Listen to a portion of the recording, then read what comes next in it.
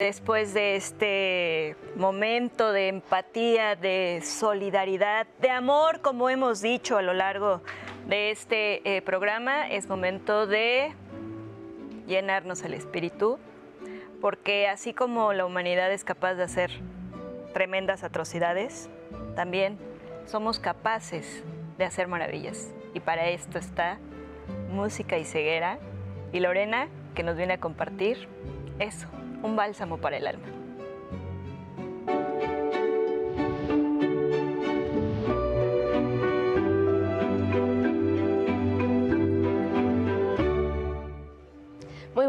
Días, Saraí, muchas gracias. Sí, un bálsamo es, un reto continuar después de esta noticia, pero aquí estoy para darles la bienvenida a su espacio Música y Ceguera en 80 millones.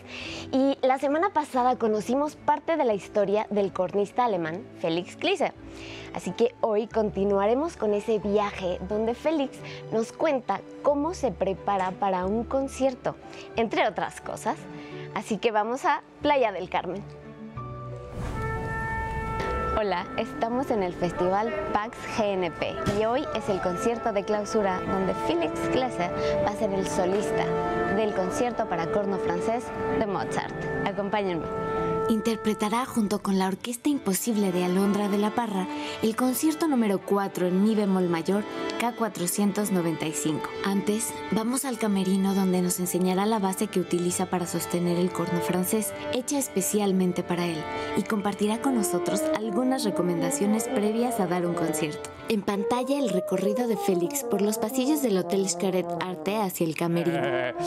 Bueno, ¿cómo te preparas? No es nada importante, ¿sabes?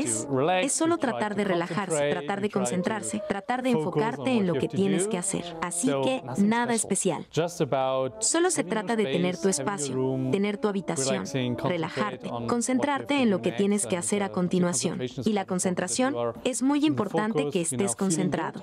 Ya sabes, sentirse bien también es muy importante. Que estés en una atmósfera en la que te sientas bien. Sí, esto es lo más importante. No estoy practicando allí o aprendiendo algo. Félix arma la base de metal plateada y se dirige al concierto, donde la orquesta lo aguarda con el primer movimiento, alegro maestoso.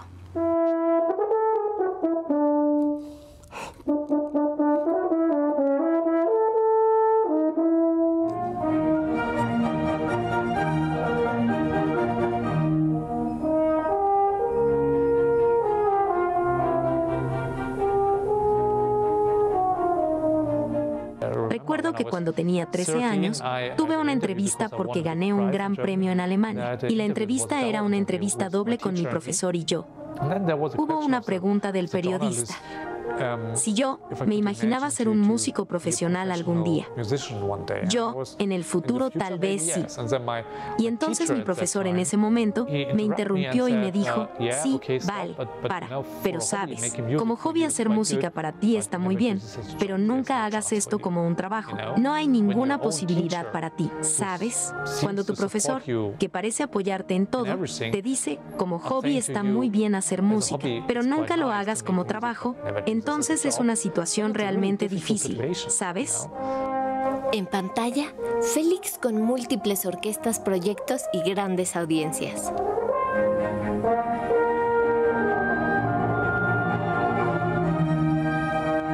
Y entonces había dos posibilidades para mí. Podía decir, ok, el mundo es tan cruel, voy a parar, voy a llorar. Pero tomé la decisión, no. No es mi profesor quien decide lo que quiero hacer con mi vida. Soy yo quien decide lo que quiero hacer con mi vida. Y entonces hice un pequeño plan. Ok, ¿cuántos problemas tengo y cómo puedo resolver los problemas? ¿Qué puedo hacer? Trabajé en mí mismo y al final me convertí en lo que quería ser. 2014, Félix en los premios Eco Classic, galardonado, se dirige al escenario. 2022, con Alondra y la Orquesta Imposible en el Salón Diego.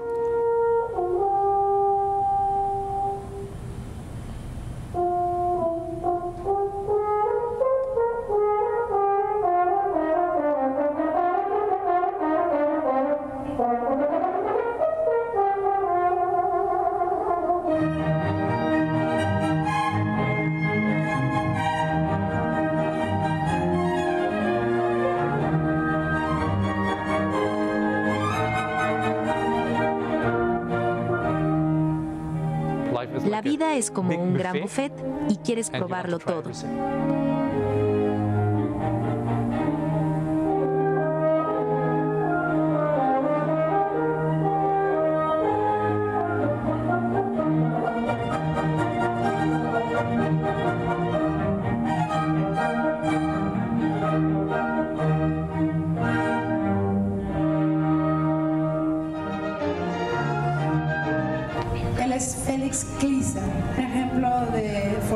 Resiliencia, talento, entrega.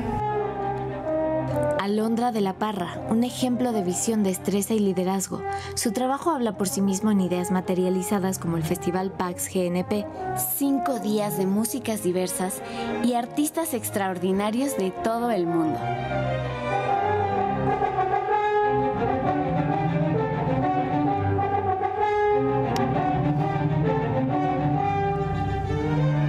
Llamo Ellie, vengo de Charlotte, Carolina del Norte, en Estados Unidos.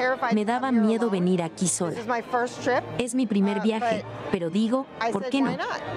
Me caí de un balcón y me rompí la espalda. Cuando me caí estaba pasando por todas las cosas duras, así que encontré este video de Alondra. Ella me introdujo no solo en la música mexicana, sino que esos videos y la música que dirigía se convirtieron en un espacio seguro para mí.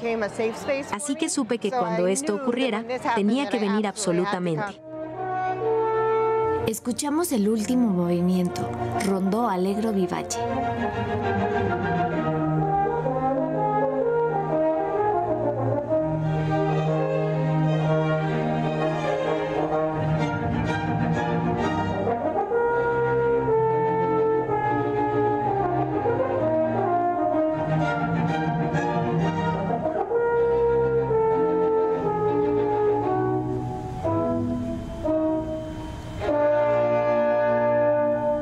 En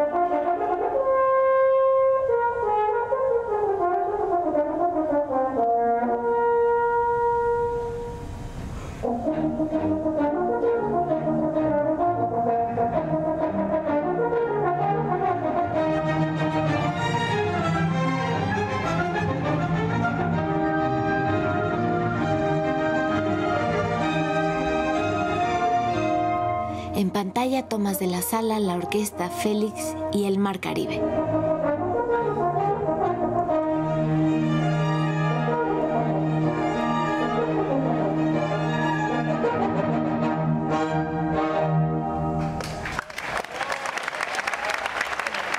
La oímos, ¿no?